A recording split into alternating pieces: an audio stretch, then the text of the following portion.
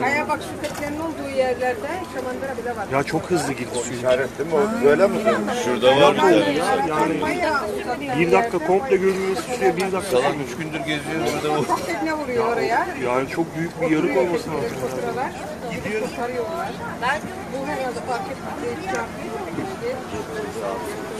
Bir de fiberglass galiba. Sahil güvenlik yok mu Yeliz? Atıp kutup kırılmış. Dur yatlardan bile. Oraya mı gidiyor bunlar?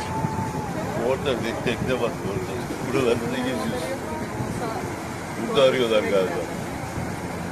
Burada neyi arıyorlar ki?